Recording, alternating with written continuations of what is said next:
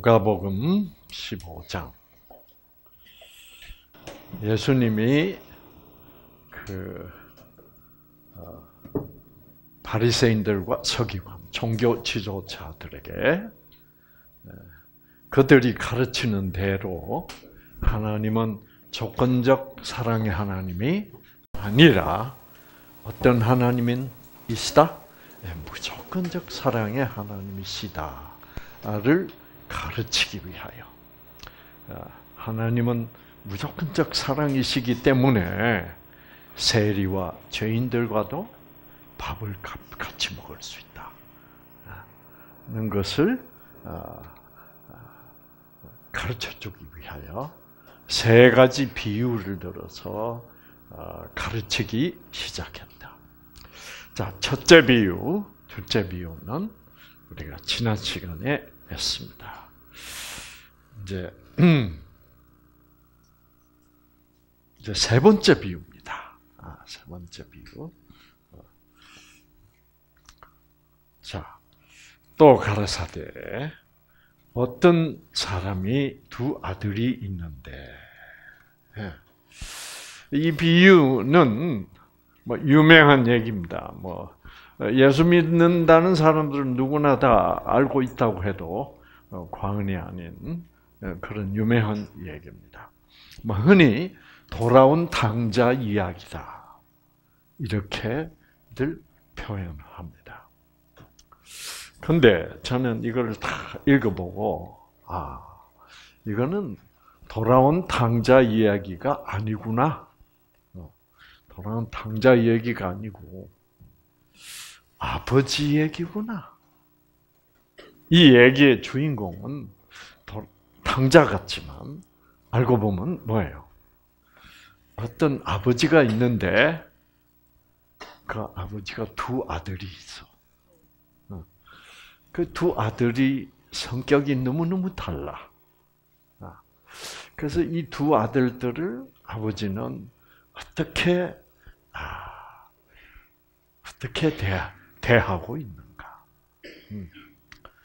어, 이두 아들 다 참 심각한 문제를 안고 있는 어, 그런 아들들입니다. 자, 어떤 사람이 두 아들이 있다. 그래서 아, 여기는 그냥 두 아들이 있다 그랬습니다. 그러니까 여기 어떤 사람, 그이 어떤 사람, 이 어떤 이 아버지가 주인공이라고 생각합니다. 자, 이제 한번 그 상세한 것을 한번 보겠습니다. 둘째가 어느 날 둘째 아들이 아버지를 어, 아버지에게 얘기합니다. 아버지여 재산 중에 내게 돌아올 분깃을 내게 주소서 하는지라 그 아비가 그 살림을 각각 나누어 줬다. 이거 참 기상천외한 얘기예요. 네? 여러분 생각해 보세요. 아버지는 죽을 날도 안 됐는데, 예? 그것도 장남이 온 것도 아니고 누가 왔어요?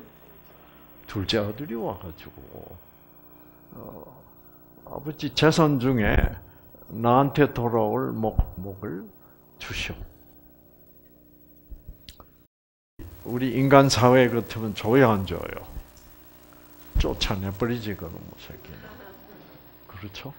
네. 이건 완전히 무지막지한 놈이야. 예의도 없고. 근데 이 아버지는 어떻게 했다고요? 줬다 이거예요. 음. 하나님은 이런 분이다 말입니다. 아시겠죠? 줬다. 근데 여기서 재밌는 건 이겁니다. 아, 한번 여러분이 깊이 생각해 봐야 될 그는 뭐냐면, 뭐냐면, 어찌 그 둘째 놈이 감히 뭐예요? 아버지한테 와서 달라 그러냐 말이야. 그 참 재밌잖아요. 어떻게? 예? 아버지 재산이고 이건 아버지가 알아서 할 일인데 어, 이 둘째 놈은 아버지한테 가서 자기 몫을 달라고 그랬어. 네?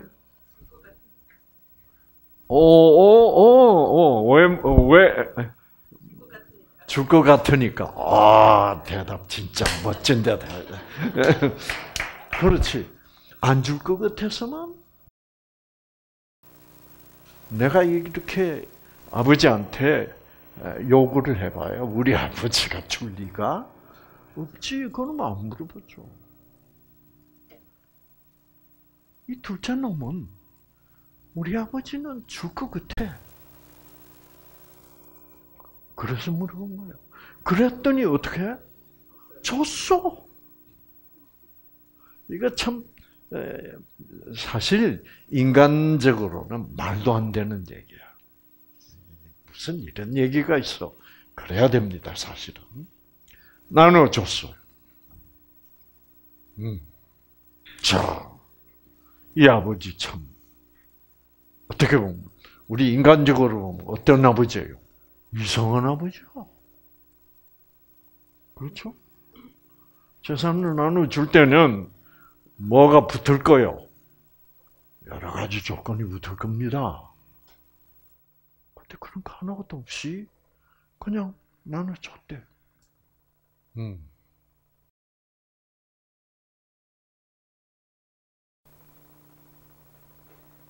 그 후 며칠이 못 되어 둘째 아들이 재산을 다 모아가지고 먼 나라에 가서 허랑방탕하며 그 재산을 다 허비하.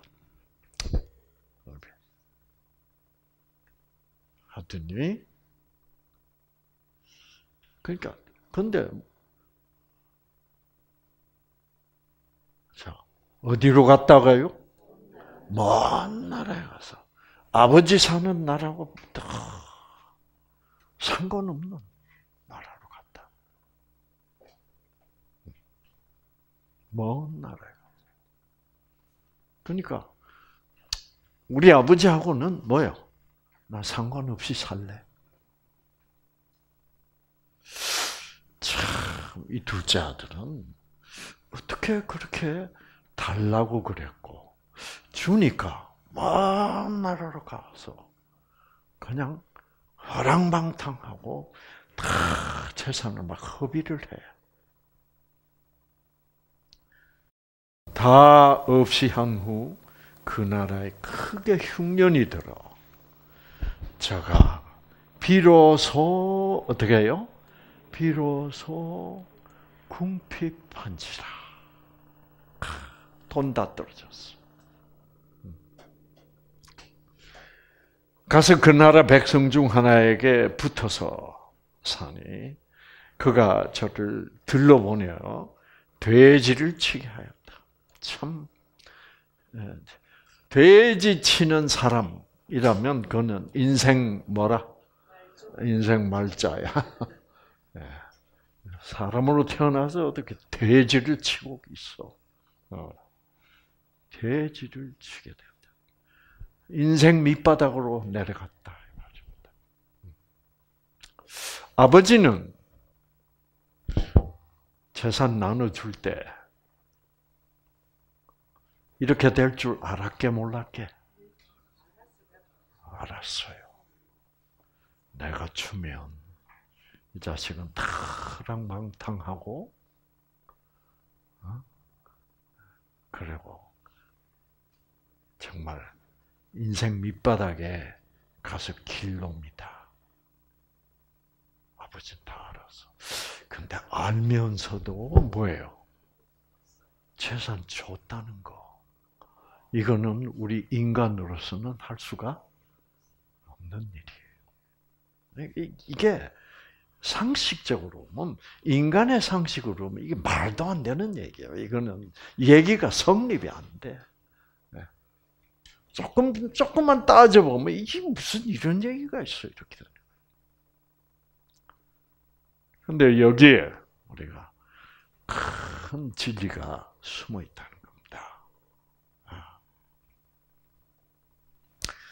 자, 그럼 먹을 게 없어가지고 돼지 먹는 쥐음 열매로 배를 채우고자 하되 주는 자가 없는지라. 이에 스스로 돌이켜 가로되, 예. 자 이제 굶어 죽게 됐어요. 음. 스스로 돌이켜 가로되, 내 아버지에게는 양식이 풍족한 품꾼이 얼마나 많냐. 나는 여기서 뭐예요? 죽는구나. 줄여서 죽는 거. 음, 줄여서 죽는 거. 그러면서 이렇게 말합니다. 내가 일어나 아버지께 가서 이르기를 아버지여 내가 하늘과 아버지께 죄를 아, 지었으니 지금부터는 아버지의 아들이라 일컬음을 감당하지 못하겠나이다. 아버지의 아들이라 일컬음을 감당치 못하겠나이다. 이제 당신 아들이라고 말할 수가 없겠다. 그렇게 생각하면서 부르기는 뭐라고 부르겠다? 아버지라고 부르겠다. 좀 웃기는 얘기예요, 이 얘기. 이렇게 참 이론적으로 따져보면 이거 말도 안 되는 얘기예요. 음. 그 여기도 어? 자 아버지의 아버지의 아들이라 일컬음을 감당치 못하겠나이다. 나를 품꾼의 하나로 보소서. 자, 이 아들은 이때까지 그 인생 밑바닥에 갈 때까지 아버지한테 돌아갈 생각 하나도 없었어. 내가 이렇게 굶고 살아도 여기가 좋아. 아버지한테 가는 건 뭐요? 싫어. 음. 그렇게 생각했어. 그런데 이제 어떻게? 이제 진짜 죽겠으니까 아버지한테 가야 되겠네. 아버지가 아들로 받아줄 리가 없고 어떻게는 받아주겠다? 일꾼 머슴의 하나로는 받아. 그래서 이 아들은 먹고 살기 위해서 굶어 죽지 않기 위해서 굶어 죽지 않기 위해서 아버지한테 가서 뭐 부탁하러 가요? 취직 부탁.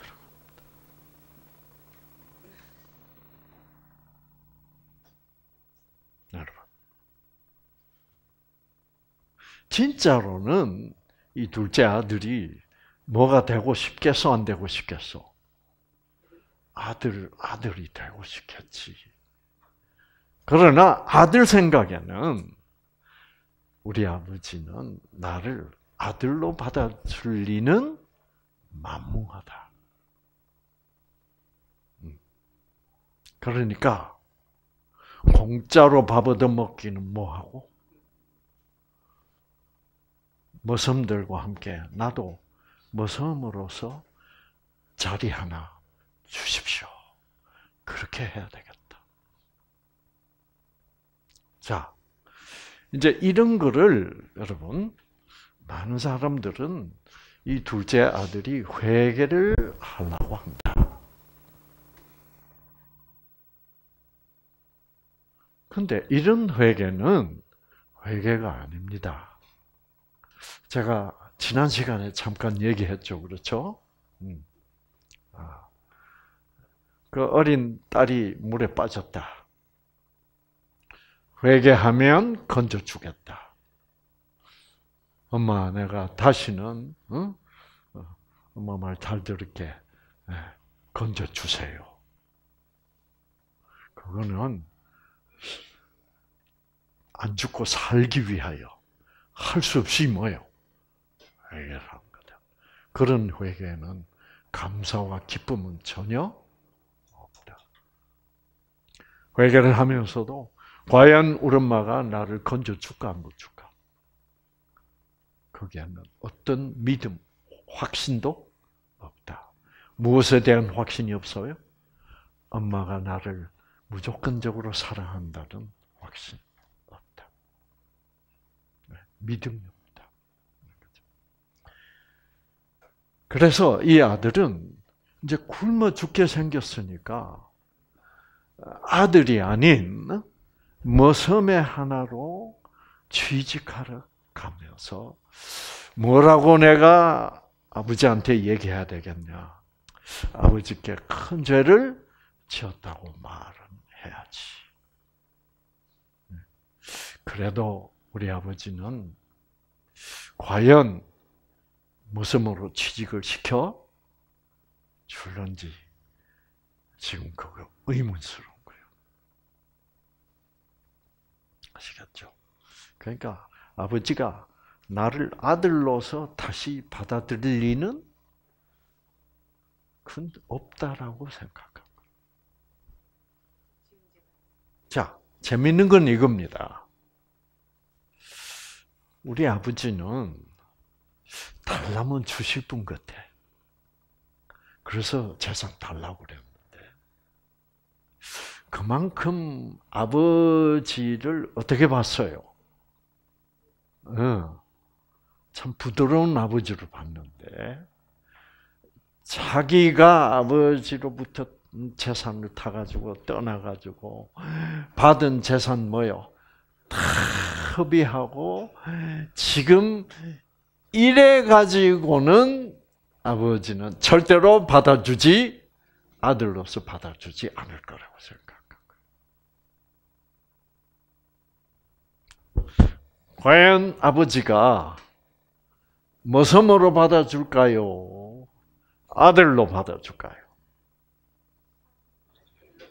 네? 여러분 잘 모르시네. 자, 한번 봅시다. 자, 봅시다.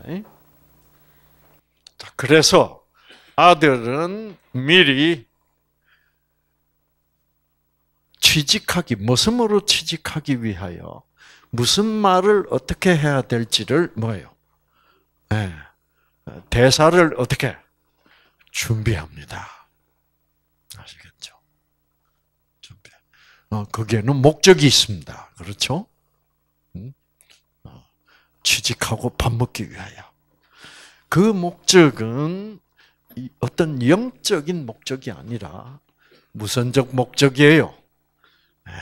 이 육신적 목적입니다. 맞아. 배가 고프니까, 배가 고프니까. 네. 그, 그거보다 더큰 어, 목표는 없어요. 밥만 먹으면 된다. 그러니까, 우리 아버지한테, 우리 아버지한테, 네. 무슨으로 취직시켜 달라고 그러죠. 여러분. 만약 아버지가 무조건적 사랑의 아버지라면 이 둘째 놈, 이, 이 자식의 그런 생각은 그렇게 에, 내가 잘못했 다고 회개해야지 하는 생각은 그렇게 하면 우리 아버지는 나를 머슴으로 취직시켜 줄 것이다. 라는 생각은 그거는 아버지를 어떤 아버지로 오해하고 있는 거예요. 조건적이죠. 그렇죠. 왜? 아버지가 진짜 무조건적 사랑의 아버지라면 어떻게 할까? 아무 조건 없이 그냥 아들로 어떻게 무조건 받아들입니다. 아시겠죠? 뭐 지금 아들이 예? 돌아왔는데 조건을 따질 게 뭐가 있어요? 그래서 여러분 이 아버지는 누구를 상징하고 있게? 하나님을 상징하고 있고 큰 아들과 둘째 아들은 우리들을 상징하고 있습니다. 그래서 이 우리들은 다 어떤 아들은 큰 아들이고 어떤 사람은 둘째 아들이고 그래요. 음. 자, 그래서 어떤 둘째 아들은 어떤 타입이에요? 아버지가 아주 좋은 재주를 주고 좋은 머리를 주고 정말 그래가지고 세상에서 어떻게 마음껏 출세해가지고 돈 왕창 벌어가지고 예. 마음껏 허랑방탕하면서 살다가 예? 결국은 예. 결국은 늙고 병들고 그래서 아무것도 남은 것이 없는 그런 사람도 있고 또 어떤 아들, 큰 아들 같은 아들은 어떤 사람들일까? 네? 아버지를 아버지를 철저히 뭐예요? 조건적인 아버지로 섬기는 거예요. 그래서 이 아들은 너무너무 착해. 재산 달라고 하지도 않고 그리고 아버지를 위해서 어떻게 열심히 일해야. 음, 그런 두 종류의 사람을 얘기합니다. 아시겠죠? 그래서 믿음 생활도 열심히 하고 돈도 열심히 교회 갖다 내고 새벽 기도 절대도 안 빠지고 예. 그러면서 항상 뭐 걱정을 하고 있는 사람? 내가 과연 이 정도면 천국 갈 수 있을까? 이것보다 좀 더 잘해야 될까? 가만 둘러보니까 내만큼 하는 사람도 없는 것 같아. 그러니까 나는 아마 갈 수 있겠지. 즉, 아버지의 그 무조건적 사랑을 이해를 못하 음. 자, 어떤 아버지며 어떤 이, 아, 나중에 이제 큰 아들도 나옵니다. 아, 그래서 이 아버지가 어떻게 이 두 아들을 상대하고 있는가를 우리가 보는 것입니다. 그래서 야 역시 이 아버지는 누구를 보여주시는 어, 보여주는 거예요? 무조건적 사랑의 하나님을 보여주는구나. 그리고 큰 아들과 둘째 아들은 우리 우리들의 각각 다른 유형을 보여주는구나. 음. 자, 아버지는 이미 아, 이 자식이 재산을 타가지고 그러니까 그 이 둘째 아들은 아버지하고 사는 게 너무 답답해. 음, 가만 보니까 착하게 살아야 돼. 근데 이 둘째 아들은 이, 바람기가 많아. 어? 술도 먹고 싶고 그런데 이 집에는 술도 없고, 어? 그래가지고 어? 참 아버지는 참 좋은, 좋은 아버지인 것 같은데, 아, 이 쾌락이 없어. 음.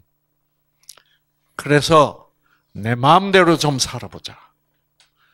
그래서 아버지께 요청했더니 마음대로 살도록 어떻게 허락을 해주는 아버지야.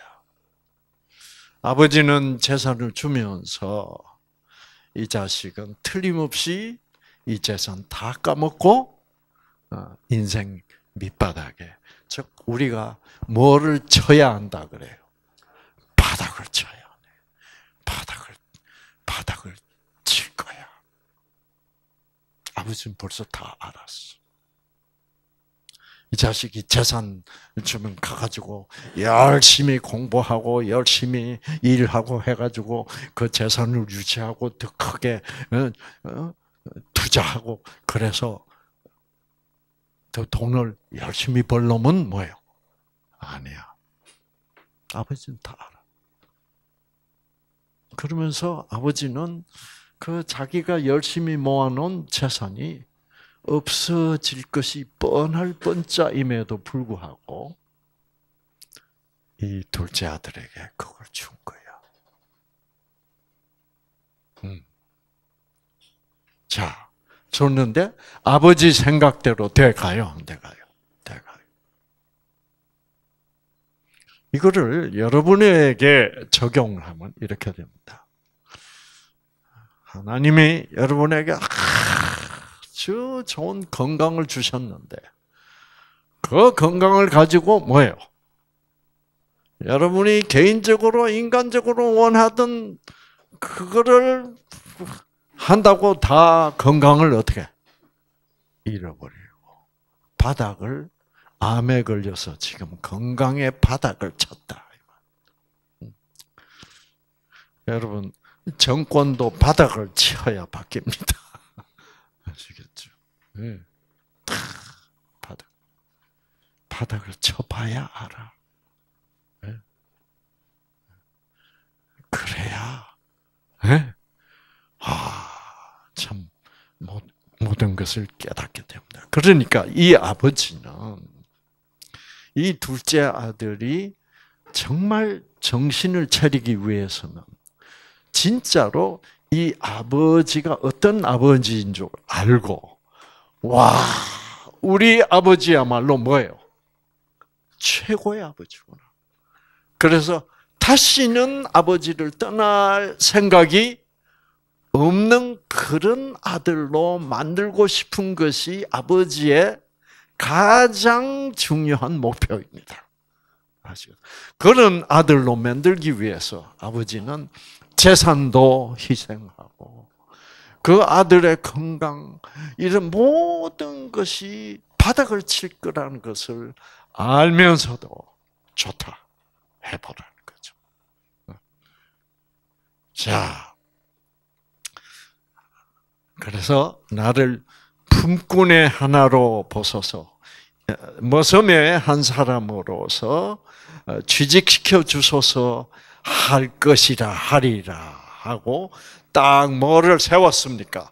요렇게 해야지. 이걸 뭐라 그래요? 작전 계획이라 그래. 음. 목표가 있어. 이것은 어떤 어, 숭고한 목표가 아니라 무슨 목표요?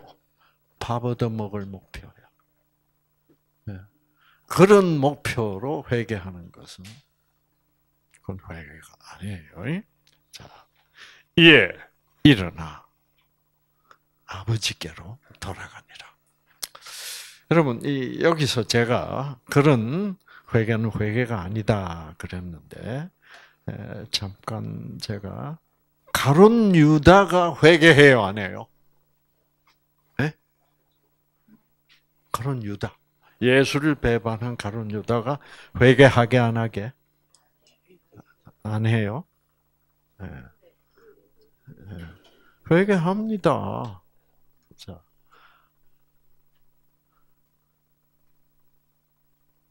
이때 예수를 판 유다가 그의 정제됨을 보고 가론 유다가 예수를 배반했어요. 그 예수가 체포됐어. 그러니까 예수가 재판을 받고 어떻게? 아 십자가에서 죽는 사형언도를 받았어. 그거를 보고 예수를 판 유다가 예수를 판 유다가 예수의 정죄됨을 보고 사형 선고를 받는 것을 보고 어떻게 했다? 스스로 뉘우쳐.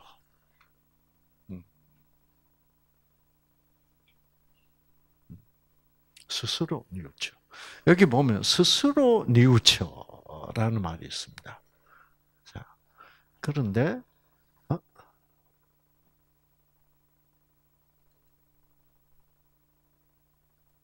여기 둘째 아들도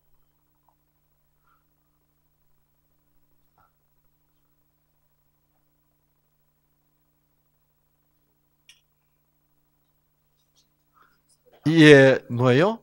스스로 돌이켜. 이게 가짜 회개의 특징입니다. 왜 스스로 뉘우친다, 스스로 돌이킨다 그럴까?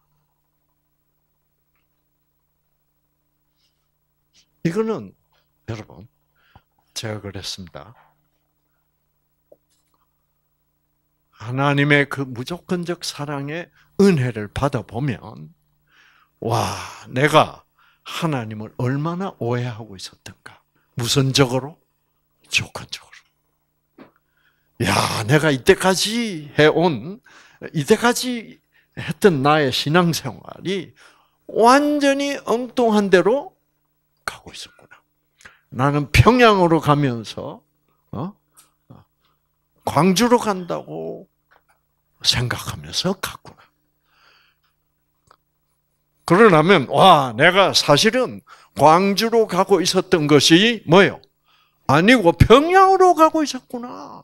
조건적 사랑의 하나님께로 막 가고 있었구나. 열심히.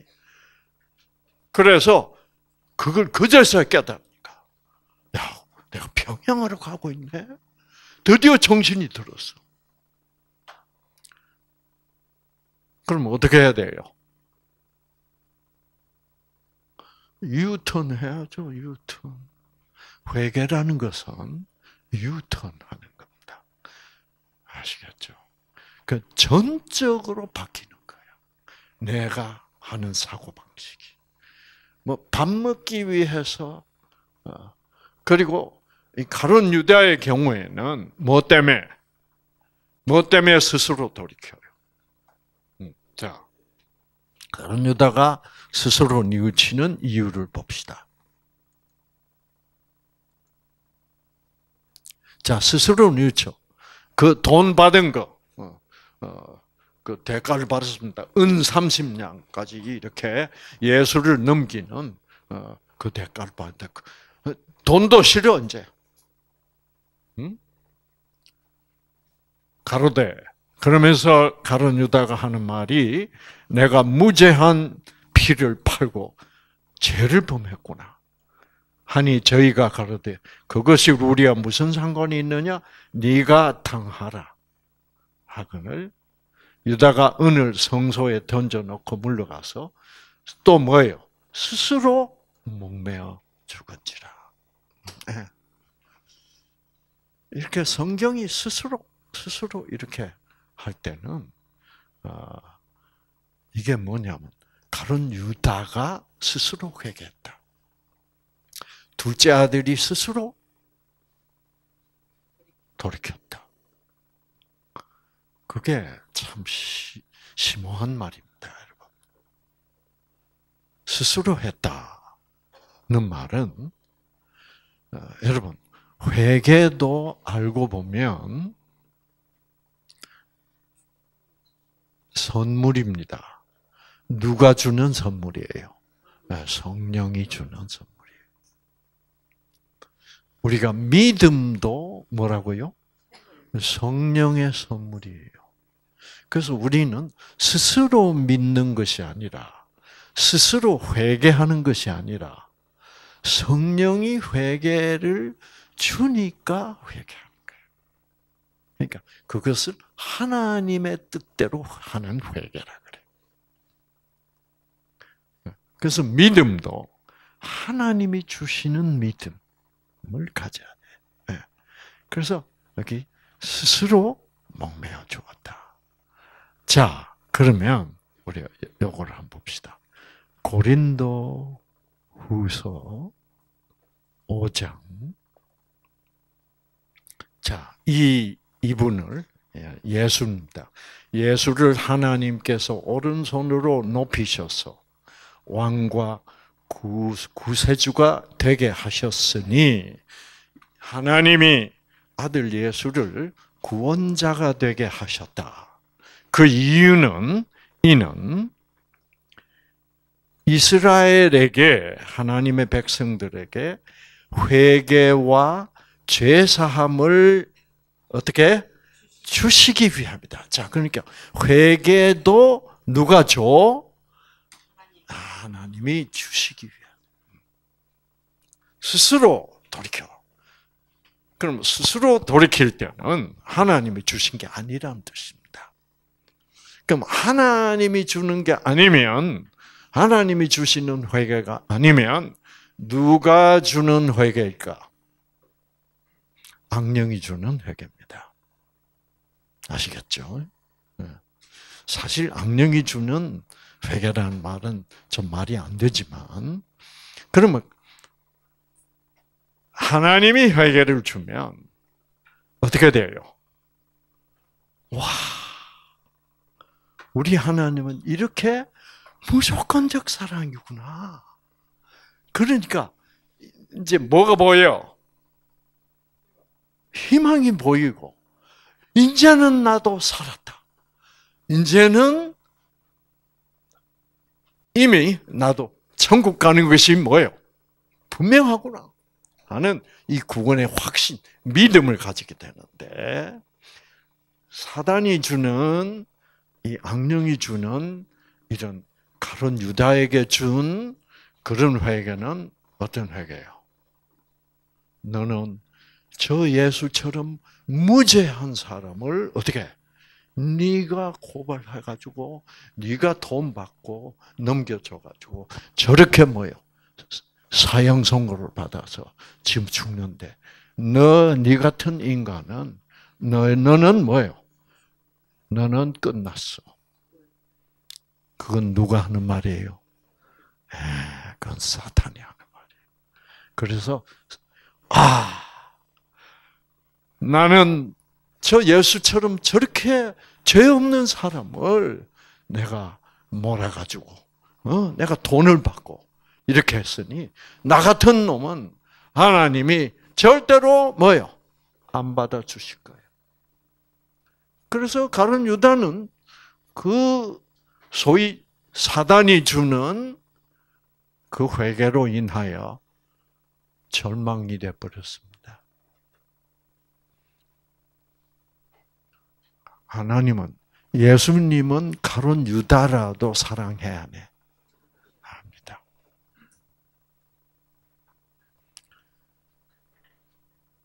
예수님이 가롯 유다까지도 사랑하셨다는 증거가 성경에 있을까? 음, 네, 제가 지난번에 잠깐 말씀드렸는데 한번 봅시다. 자, 마태복음 26장. 예수님이 열두 제자와 아, 열두 제자와 함께 앉으셔서 마지막 만찬을 최후의 만찬, 십자가에 못 박히기 전에. 그때 예수님이 이렇게 얘기합니다. 너희 중에 한 사람이 나를 판다. 그랬더니 제자들이 다 깜짝 놀라서 접니까? 그래서 한 사람씩 다 물었는데 예수님이 다 아니라고 그랬어. 그럼 이제 열두 번째 가론 유다가 남았는데 가론 유다가 예수님에게 뭐라 그랬어요? 접니까? 예수님이 다 아는데 그 예수님이 그래 네가 말했다. 그래서 예. 그러고는 예수님이 어떻게 해요? 어떻게? 예. 저희가 먹을 때 예수께서 떡을 가지사 축복하시고 떼어 제자들을 주시며 가라사대. 받아 먹어라. 이것이 내 몸이니라 하고 또 잔을 가지사 살해하시고 저희에게 주시며 가라사대 너희가 이것을 어떻게 너희가 너희가 다 이것을 마시라 그랬어요. 다 이것을 마시라. 그 그건 뭔데? 28절 뭔데? 이것은 죄 사함을 얻게 하려고 많은 사람을 위하여 흘리는 바 나의 피 나는 너희를 꼭 구원하겠다는 그 약속의 피다. 자, 이 피를 마셔라. 이 포도주를 마셔라. 마시는 마시는 것이 바로 뭐를 어떻게 하는 것이다? 내가 약속한 구원을 받아들이는 것이다. 제가 예수님 같았으면, 아, 제가 예수님 같았으면 너희가 다 이것을 마시라고 안 그래요. 뭐라 그러게? 너희가 이 잔을 마시라. 가론 유다 너는 빠져. 그거 조건적 하나님이야. 아시겠죠? 예수님은 그런 가롯 유다까지도 가롯 유다도 보세요. 가롯 유다는 예수님을 배반하고 팔 거야. 그런데도 불구하고 자기는 아닌 척하고 예수님한테 와서 뭐예요? 접니까? 라고 한 놈까지도 그런 가론 유다까지도 어떻게 포함하니까 혹시 가론 유다가 빠질까봐 예수님은 걱정해서 너희가 뭐예요? 다 이 잔을 마시라. 왜 하필 다라고 그래요? 너 12명 다 마시라 이 말입니다. 사실 왜 다 마시라 그러면 가론 유다가 자기 양심에 자기가 뭐예요? 가책을 받아서 빠질까봐. 그다 일부러 다 마시라 그런 거죠. 아시겠죠? 만약 예수님이 다라고 안 했더라면 가론 유다가 자진해서 빠질 가능성이 있어. 그렇다고 해서 예수님이 너희가 이 잔을 마시라. 가론 유다야, 너도 마시라. 이렇게 되면 또 가론 유다가 입장이 이상히 쪽팔려. 그렇죠? 그러니까 가론 유다 쪽팔리지 않기 위해서 예수님이 한꺼번에 어떻게 했어요? 가론 유다도 마시게 하기 위하여 다 마시라. 박수? 세게.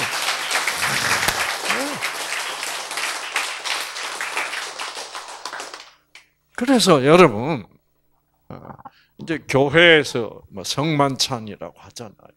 그럼 그게 조건이 많이 붙어요. 아시겠죠? 뭐 이런 짓 해서면 먹지 말아 마시지 말라 해서 뭐 했으면 마시지 말라. 아니야. 지금 가론 유다도 포함해서 어떻게 다 이게 본래 오리지널 성만찬. 아시겠죠? 네. 여러분, 지금 하나님을 아주 조건적으로 만들어 놓고, 이 성경, 이 성경을 보면 그게 아니잖아요. 분명히 예수님이 직접 이 말을 하신. 너희가 이 잔을, 다 이 잔을 마시라. 예. 그래서 여러분, 영어로 보면 분명합니다. 어? 자, drink from it. 자, 이, 이 잔으로부터 마셔라. 그 다음에 뭐요? All of you. 모든 포도주를 마시란 말이 아니고, 너희들 모두라는 말이에요. 12명 다. 그렇게 되면 가론 유다가 감동받을 수도 있어. 와, 예수님이 내가 그 내가 지금 배반하고 예수를 판다는 걸 다 아시면서 나도 마시라고 한다고? 이래서 가론 유다에게까지도 어떻게 회개를 주고 싶다 이 말이야. 아, 회개를 회개하도록 하고 싶다 이 말이야. 아, 그래서 죄 사함을 받게 하려. 이 얼마나 감동적인 하나. 응? 그래서 여러분이 성경에서 하나님의 무조건적 사랑을 발견하면 야, 감동이죠. 그 감동 받는 순간에 여러분은 무조건적 사랑을 받는 것이고 그 무조건적 사랑을 하나님으로부터 받는 것이 바로 생기를 받는 거라 이 말이야. 그러므로 여러분의 유전자가 다시 켜지고 회복될 수 있다 이 말이에요. 네. 음. 음. 네. 그래서 예수님은 가론 유다도 뭐예요? 네. 그 포도주를 네? 마시고 어? 그 떡을 받아 먹으라는 거죠. 아마 가론 유다는 마시긴 마셨을 거예요. 그러나 그거는 마신 게 아니에요. 그렇죠? 그냥 안 마시면 이상할 것 같아서 그냥 폼으로 마셨지. 그러나 그거 마셨다고 해서 죄상을 받는 건 아니야. 뭐를 받아야 돼? 그거를 마신다는 것은 어, 예수님이 십자가에서 흘리시는 피를 마신다는 거고 그 피를 마신다는 말은 무슨 말이에요? 그 피는 누구를 위하여 흘리는 거예요? 모든 죄인, 가론 유다 같은 모든 죄인들을 위하여 흘리는 피야. 네. 그것은 결국 그, 그 포도주 잔을 마신다는 것은 그것은 결국 모든 죄인을 위하여 대신 죽어주시고 죄값을 완불하시는 무적 하나님의 무조건적 사랑을 마신다는 거야. 아시겠죠? 네. 자, 그래서 여러분 참, 참 성경은 아름다운 얘기예요. 자, 그러면 다시 마태복음 27장으로 가서 스스로 뉘우쳐 어, 그 돈도 이제 싫어 스스로 뉘우쳐 그 은삼십을 대제사장 장로들에게 돌아갔다 주며 무제한 어, 피를 팔고 죄를 범하였다. 유다가 오늘 성소에 던져 물러가서 스스로 뭐예요? 목매어 죽었다. 왜? 왜 목매어 죽어요? 자기 같은 놈을 하나님이 받아들일 리가 없다고. 철저히 하나님을 조건적으로 생각했다. 그러니까 하나님을 조건적으로 생각하는 사람은 결국 스스로 뭐예요? 포기하게 돼 있다 이 말이야. 예. 그 가론 유다 포기했어. 가론 유다는 그 당시 아주 어, 요즘 말로 하면 신학 대학교 교수였습니다. 서기관 중에 하나예요. 네. 종교 지도자 그 종교 이 어부들, 세리들, 이 순수한 무식꾼들은 예수님을 보고 무엇을 배웠어요? 와, 하나님은 무조건적 사랑이구나. 우리가 이때까지 회당에서 어, 바리새인들과 서기관들로부터 배운 거하고는 뭐요? 다르구나. 네.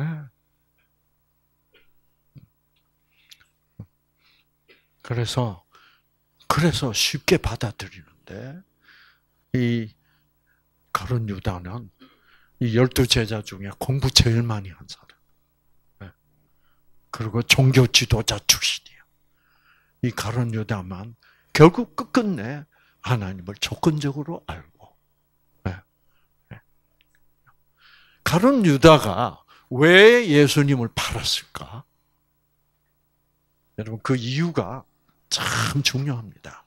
음. 자, 그 당시 유대인들은, 유대인 종교 지도자들은 어떻게 믿고 있었냐고 하면, 그 당시 이스라엘이 로마의 속국이 돼가지고 로마의 압제 밑에서 고통을 받고 있었습니다. 근데 이제 그 유대교 종교 지도자들은 하나님이 우리 이스라엘을 반드시 뭐요? 로마의 압제로부터 구원하실 것이다. 구원하시기 위하여 반드시 구원자, 곧 메시아를 보내주실 것이다. 그 왜냐하면 성경 구약 성경에는 계속 선지자들마다 곧 어느 때가 되면 때가 참에 에? 하나님이 그 아들을 보내서 메시아 구원자로서 보내서 우리 모든 온 세상의 죄인을 구원할 것이다 라고 썼는데 유대교인들은 그 그들의 하나님이 온 세상의 하나님이 아니라 누구의 하나님일 뿐이요 유대인들의 하나님일 뿐이야. 그래서 우리를 자기 나라, 자기 민족만의 그 여호와 하나님을 국한시키니까 아주 이기주의적인 신앙이 되어버렸다. 그래서 우리만 이 세상에서 하나님의 율법을 지키고 사는 민족이니까 어? 어, 그 우리를 그런 우리를 하나님의 율법을 잘 지키는 우리를 어 사단이 고생시키려고 로마를 시켜서 우리를 정복하고 우리를 이렇게 고생스럽게 하는데 고통을 주고 있는데 하나님은 반드시 메시아 구원자를 보내서 우리를 뭐요 해방시킬 거 그렇게 믿고 있었어. 그런데 이 가론 유다라는 사람은 예수를 탁 보고 아 이분 같으면 우리 이스라엘을 로마로부터 어떻게 구원하죠? 로마 군대를 쫓아낼 수 있다. 이분은 죽은 자도 살리고, 예, 바다 폭풍도 뭐예요? 잔잔하게 하고, 그걸 보니까 이분은 우리 유대인들을 로마로부터 뭐예요? 해방시키기 위해서 왔다. 이렇게 생각하고. 그런데 예수님은 로마 군인도 사랑해 세상에. 로마의 백부장. 그렇죠? 백부장의 하인이 뭐예요? 중풍 걸렸다고 와서 예수님께 부탁. 가자. 네. 부탁을 주는 거예요. 그러니까 이 가론 유다가 이야 이거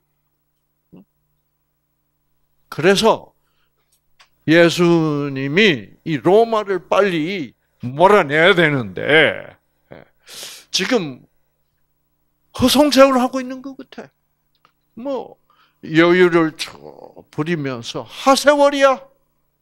그래서 가론 유다가 어떻게 생각했냐면 예수를 막다른 골목에 어떻게 몰아넣으면 그래서 로마가 자기를 뭐요 죽이려고 그러면 그제서야 예수님이 본색을 드러내 가지고 로마를 뒤집어 엎고 이스라엘을 해방시킬 것이다.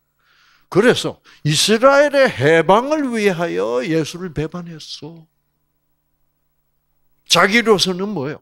그것이 하나님의 뜻이라고 생각. 그런데 그렇게 코나를 몰아넣어도 예수님은 로마 로마 어, 압제를 묻지를 생각도 뭐예요? 안 하고 있으니 자기가 잘못 짚어가지고 어, 죄 없는 사람 사형시키게 됐다고. 그래서 양심의 뭐를 받아? 가책. 그리고 또 뭐요? 죄책감. 죄책감, 양심의 가책, 그것들은 전부 나를 뭐라고 하는 겁니까? 너는 나쁜 놈이야. 너는 이래 가지고는 하나님한테 사랑을 받을 자격이 뭐요? 없어. 그, 그게 누구의 목소리게? 그게 사단의 목소리. 그게 속았다 이 말이야. 너는 하나님이 절대로 받아줄 수 없는 악 착한 놈이야. 이 가론 유다야. 사단이 하나님의 하나님인 척하고 가론 유다를 속여. 가론 유다는 뭐예요? 이제 면목도 없고 살아봐야 뭐 희망도 없고 죽어버리죠. 그래서 스스로 뉘우치고 스스로 목매달아 죽었다. 성경은 너희들 스스로는 아무것도 할 수 없다고 그러는 그렇게 가르치는 책이거든. 그런데 이 가론 유다는 스스로 그 이 둘째 아들 놈도 뭐요? 스스로 뉘우쳐. 그거는 누가 그런 아이디어를 줬다는 거예요. 사단이. 그래서 그런 엉터리 회개를 할 작전 계획을 세우고 이 둘째 아들이 아버지에게로 가고 있습니다. 아시겠죠? 아버지는 이 모든 사실을 미리부터 다 어떻게 해요? 알고 있었습니다. 아시겠죠? 아버지는 이 자식이 배가 고프면 뭐예요? 돌아온다.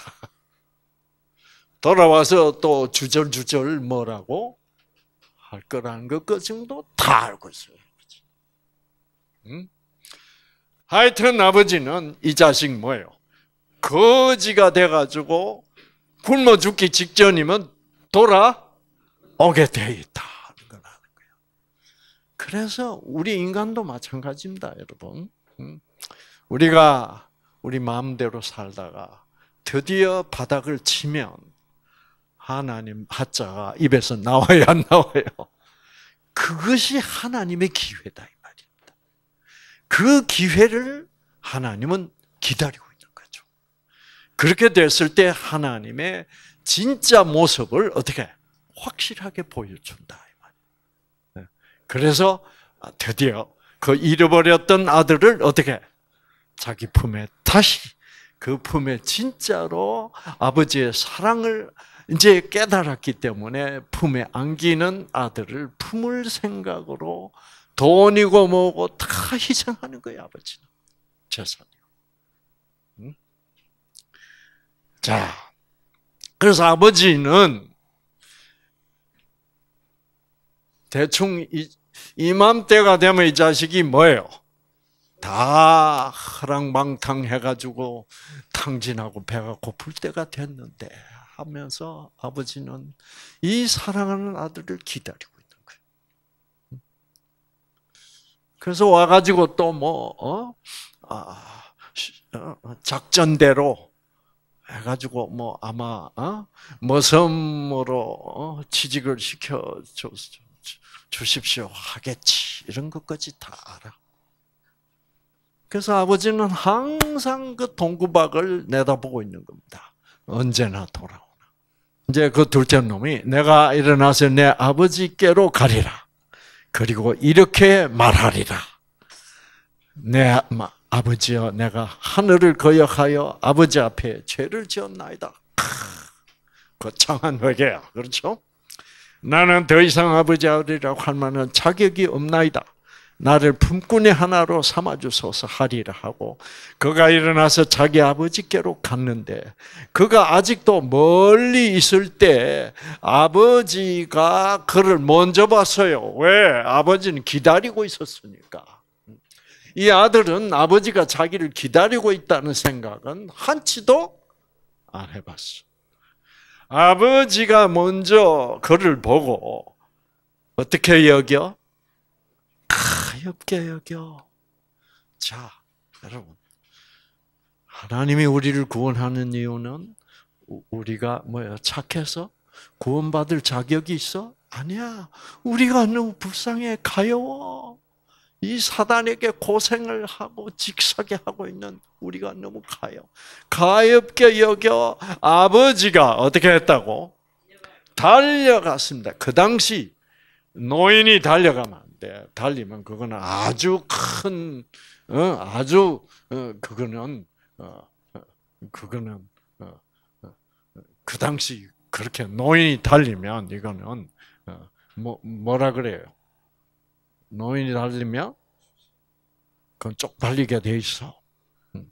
자 달려가 그 돼지 우리에서 말이에요. 그 흉년이 들어서 그 샤워를 언제 해? 그 땀내, 어, 막, 어, 그 돼지 냄새, 그 막, 그 나는 그 목에다가 달려가 목을 안고 뭐요? 무조건 하고 입 맞춰. 조건 없어. 달려가서 그 더러운 목을 야 저기 어, 좀 가서 씻고 와. 그거 아니라고. 그 더러운 말, 씻든 안 씻든 뭐예요? 그런 조건 없어. 달려가 목을 안고 입 맞추더라. 이제 그 정도 됐으면 이놈 아들이 뭘 깨달아야 돼요? 자기가 머섬으로 삼아 취직시켜 달라고 얘기할 필요가 뭐예요?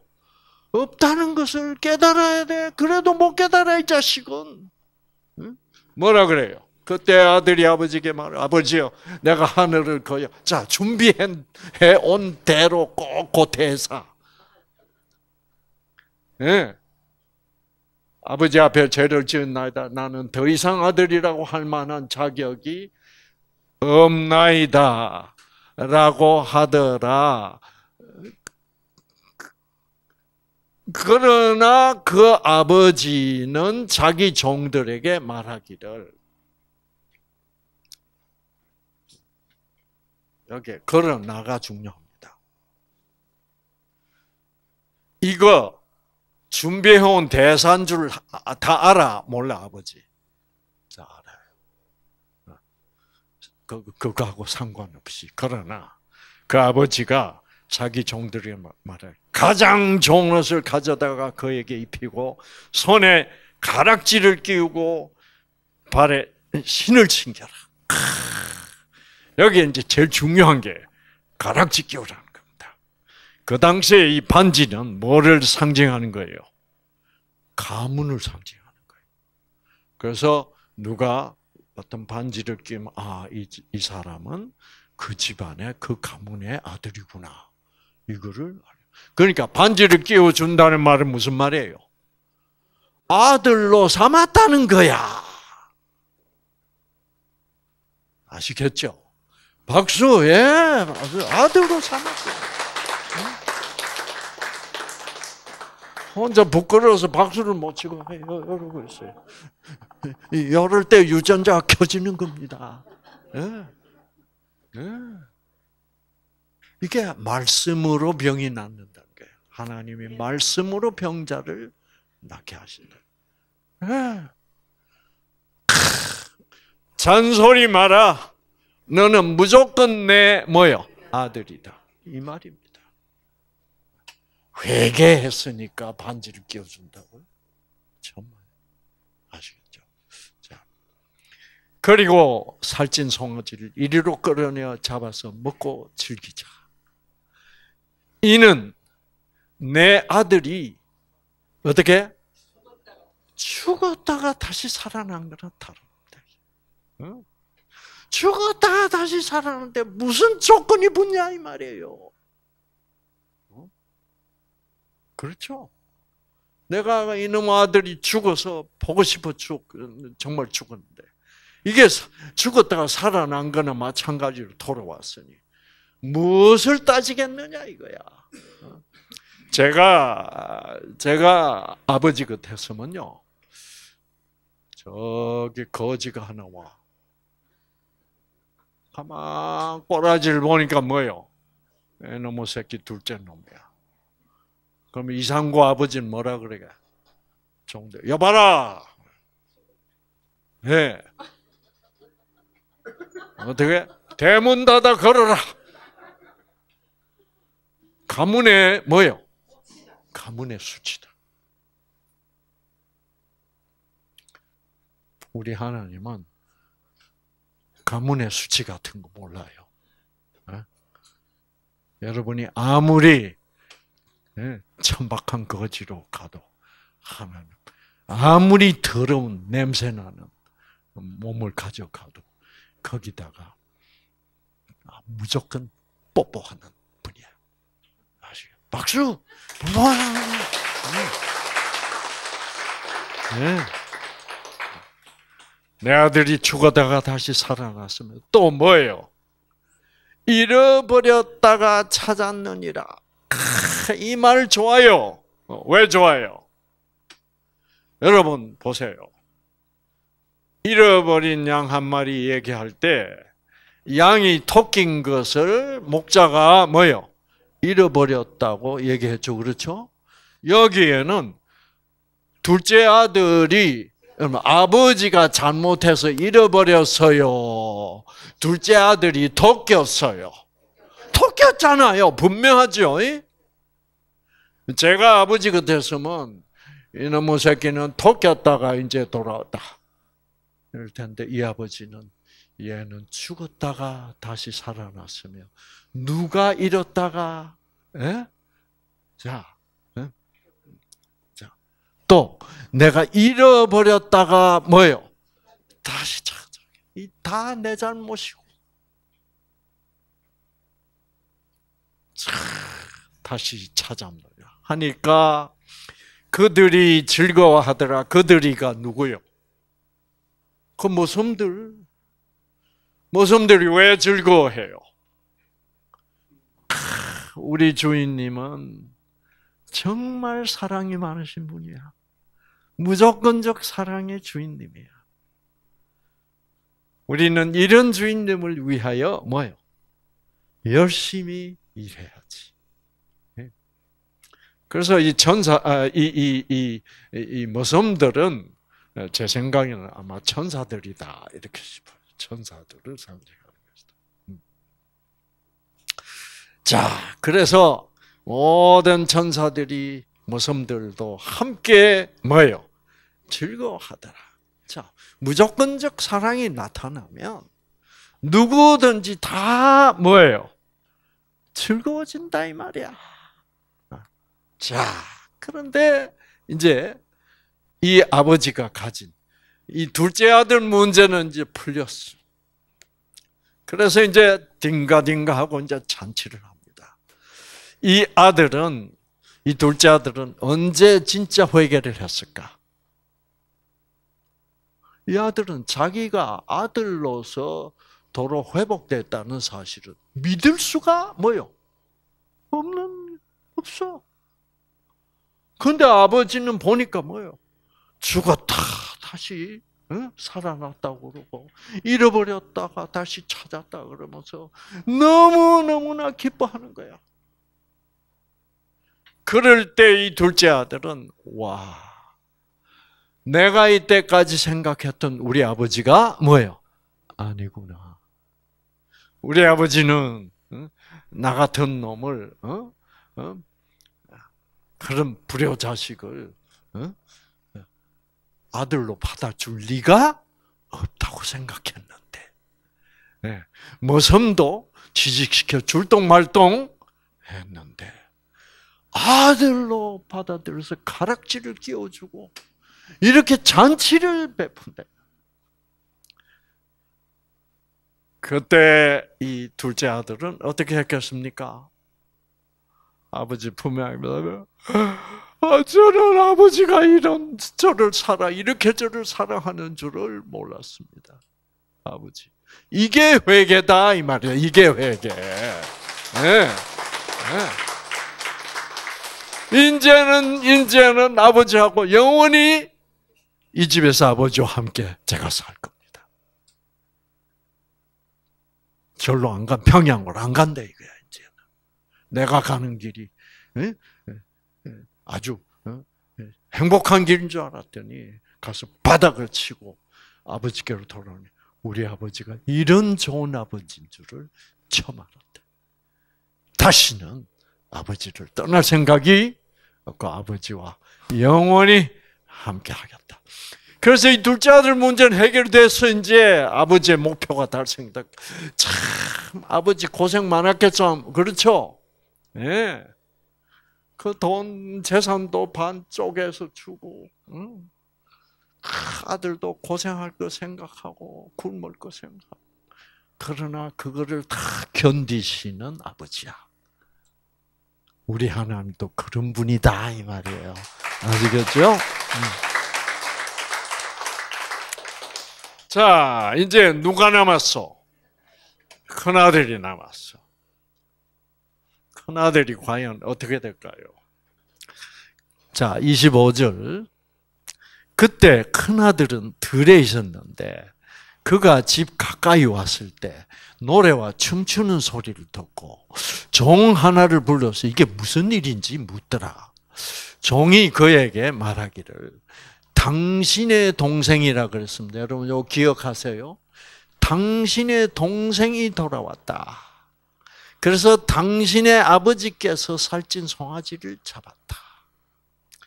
이는 그 이유는 아버지께서 무사하고 건강하게 돌아온 그를 환영하기 위한 환영 잔치입니다. 라고 하니 큰 아들이 어떻게 열받았다 이 말이야. 왜 열받았게? 말도 안 된다는 거요. 말도 안 된다는 거요. 그런 놈은 어떻게? 그냥 어? 반쯤 죽도록 때려 어? 때려가지고 쫓아내 버려야 되지. 어? 그런 놈을 돌아왔다고 잔치를 해. 그러니까 이 큰 아들이 믿는 아버지는 어떤 아버지야? 철저히 조건적이야. 우리 아버지가 이런 아버지인 줄 몰랐네. 우리 아버지가 지금 뭘 하는 거야? 말도 안 돼. 그러면서 불평을 하기 시작합니다. 어, 그가 화가 나서 그 잔치에 들어가기도 싫어하더라. 그러자 그의 아버지가 나가서 그에게 권하더라. 음? 그러니까 큰아들이 자기 아버지께 대답하여 말하기를 보소서 내가 수년 동안 내가 아버지를 섬기고 어느 때도 명령을 거역하지 않고 아버지 말 얼마나 잘 듣습니까 제가 음? 아버지를 위해서 내가 모든 걸 희생하고 열심히 일했습니다. 어, 어, 수년 동안 내가 아버지를 섬기고 어느 때도 명령을 거역하지 아니하였으나 아버지는 내 친구들과 함께 즐기라고 송아지는커녕 나에게 염소 새끼 한 마리도 주시지 않았는데 이, 이 거지 같은 이 나쁜 새끼가 돌아왔는데 무슨 송아지를 잡고 나왔다. 말도 안 된다. 즉 무조건적 사랑은 그건 틀렸다. 그러니까 그 누가 틀렸다는 거예요? 아버지도 틀렸어. 누가 제일 오라? 자기가 제일 오라. 자기가 제일 오라. 네? 세상적으로는 맞는 말이죠. 세상적으로. 음. 자, 그러나 아버지의 살림을 창녀들과 더불어 탕진해버린 이 아들이 돌아오자마자 그를 위해서는 살찐 송아지를 잡으셨나이다. 자, 오늘 성경은 자, 아버지의 살림을 장기와 함께 먹어버린 이 아들 여기 보면 여기 본래는 이 당신의 아들이라 그랬습니다.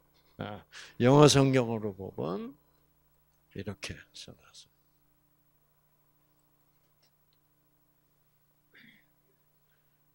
This son of 뭐요? Yours. 당신의 아들. 아까 그 종은 이 큰아들한테 누가 돌아왔다 했어요? 여러분 기억합니까? 당신의 동생이 돌아왔다. 그 종은 무슨 생각으로 그렇게 얘기했습니까? 동생이 돌아왔다 그러면 참 좋아할 거라고 생각했어.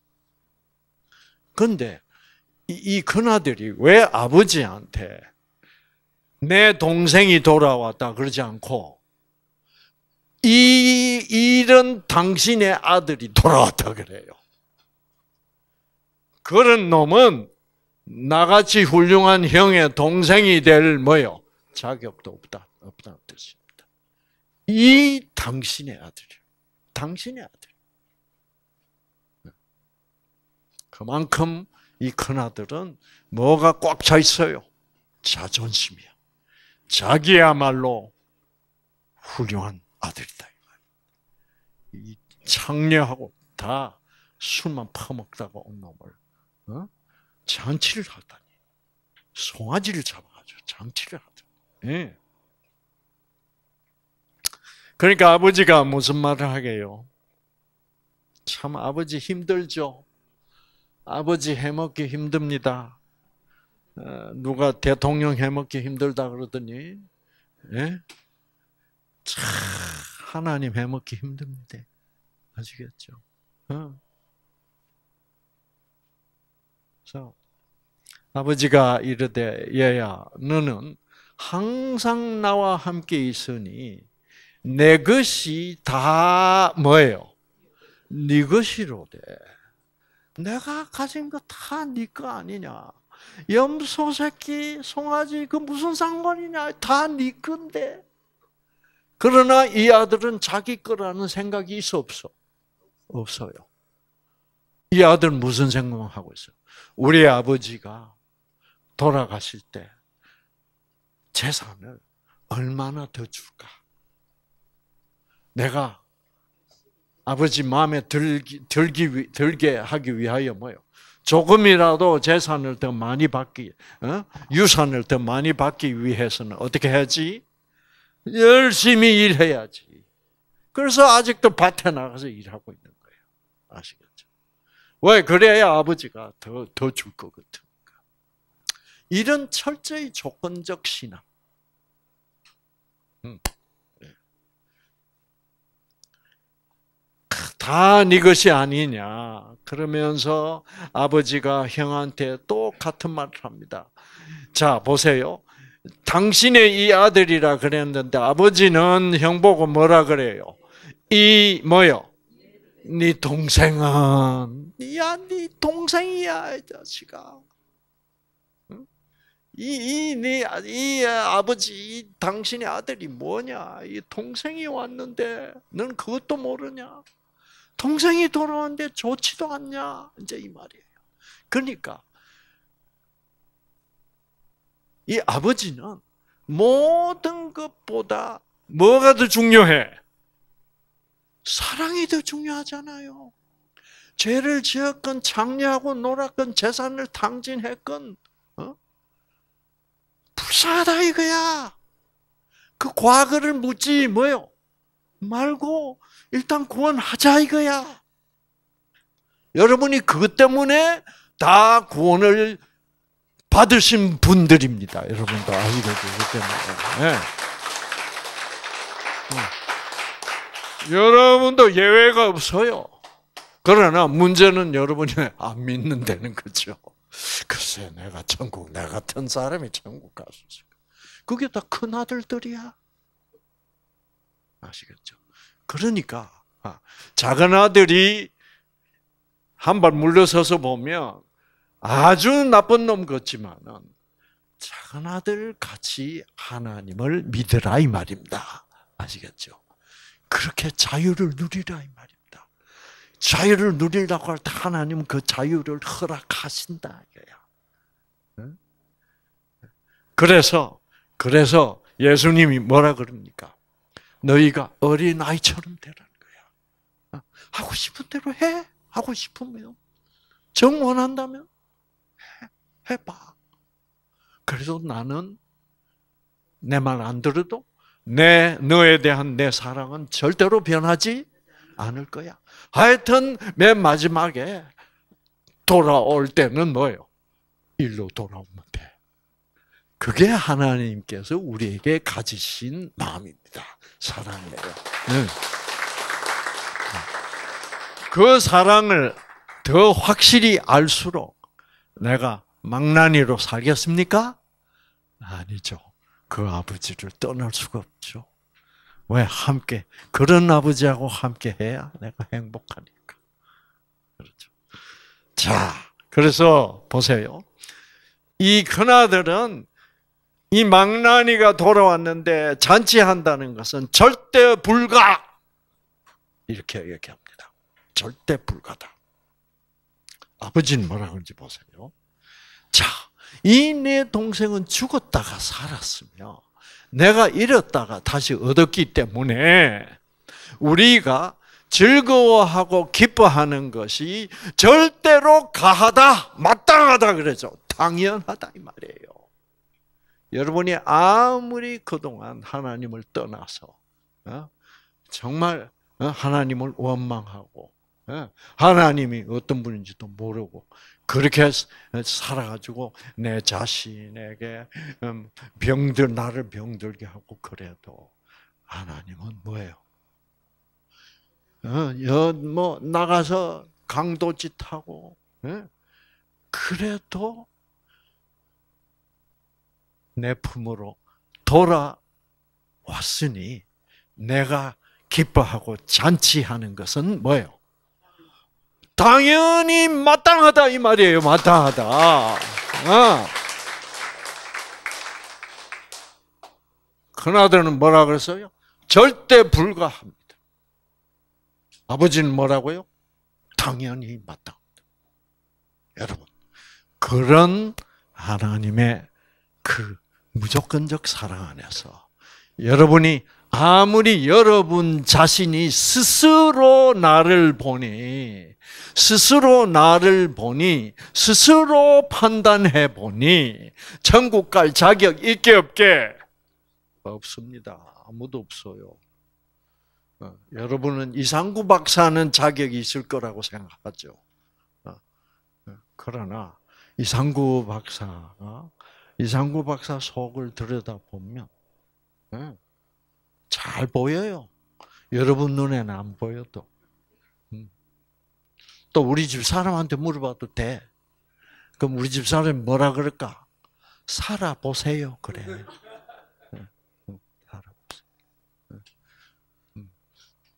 제가 뭐 이상호 박사 부족한 것이 많다 그러면 아유 또 박사님 겸손 떤다 이렇게 생각하죠. 참만해. 여러분 무조건적 사랑의 하나님이 더 좋아질수록 나와 그 하나님과 자꾸 비교가 되고 비교가 될수록 나는 더 뭐예요? 더 가망 없는 놈이다. 는 것을 알게 되면 그래도 구원하셨고 나는 천국 가게 되어 있다는 사실을 다시 생각할 때 감사하기가 한량 없다 이 말이야. 아시겠죠? 네. 그런 거예요. 그래서 사도 바울도 나중에 뭐라 그래요? 내가 다 이루었다 함도 아니요. 내가 오직 가지고 있는 건 뭐예요? 사도 바울이 내가 다, 다 이룬 것도 아니다. 나는 아직도 예수께 더 가까이 가려고 매일매일 뭐예요? 네. 그러면서 내가 그래도 잃어버리지 않은 거 하나는 뭐라? 나는 믿음을 지켰노라.